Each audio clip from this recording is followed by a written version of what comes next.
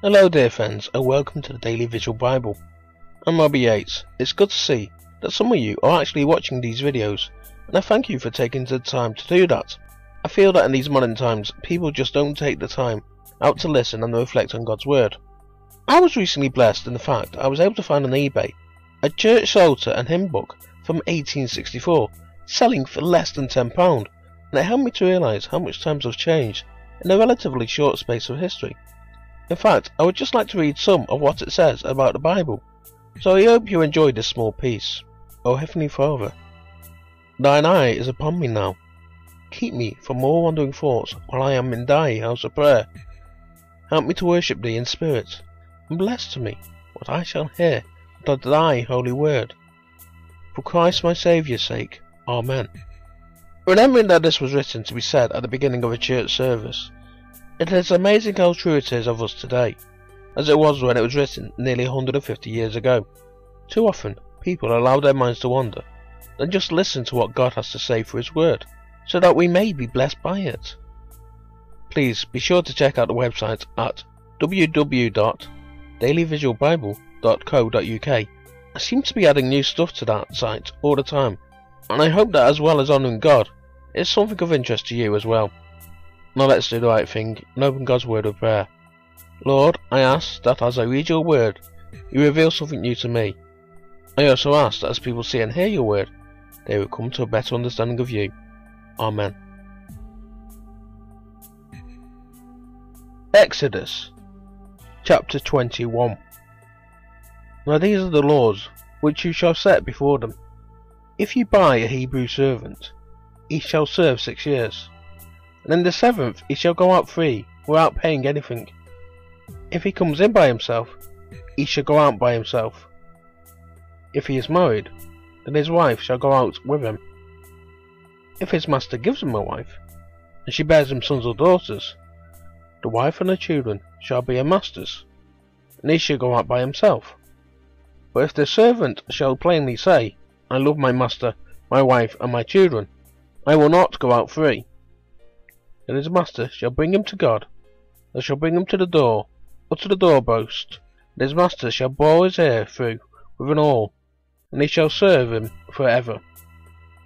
If a man sells his daughter to be a female servant, she shall not go out as the male servants do. If she doesn't please her master, who has married her to himself, then he shall let her be redeemed. He shall have no right to sell her to a foreign people, since he has dealt falsely with her. If he marries her to his son, he shall deal with her as a daughter. If he takes another wife to himself, he shall not diminish her food, her clothing, and her marital rights. If he doesn't do these three things for her, she may go free without paying any money. One who strikes a man so that he dies shall surely be put to death, but not if it is unintentional, but God allows it to happen then I will appoint you a place where he shall flee. If a man schemes and comes presumptuously on his neighbour to kill him, you shall take him from my altar, that he may die. Anyone who attacks his father or his mother shall be surely put to death.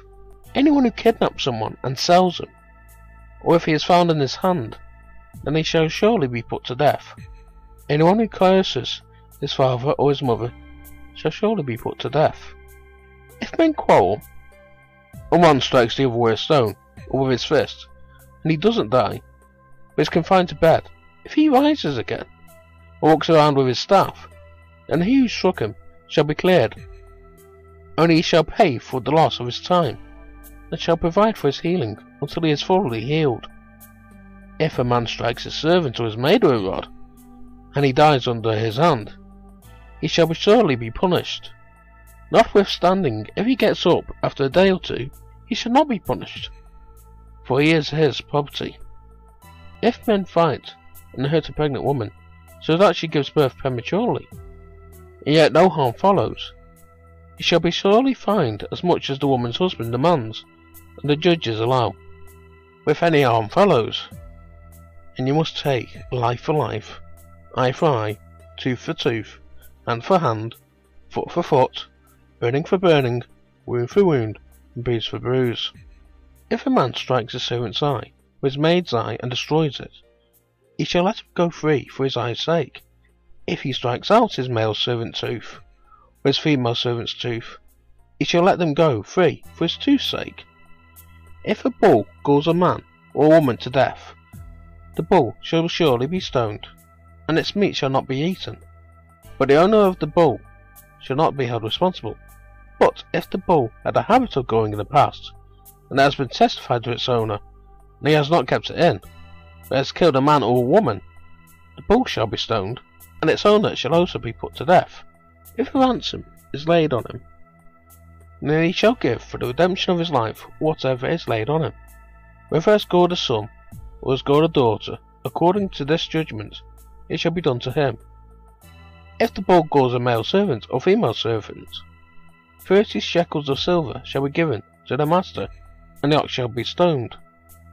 If a man opens a pit, or if a man digs a pit and doesn't cover it, and a bull or a donkey falls into it, the owner of the pit shall make it good. He shall give money to its owner, and the dead animal shall be his. If one man's bull injures another's, so that it dies, then they shall sell the live bull, and divide its price, and they shall also divide the dead animal. Or if it is known that the bull was in the habit of going in the past, and its owner had not kept it in, he shall surely pay bull for bull, and the dead animal shall be his own.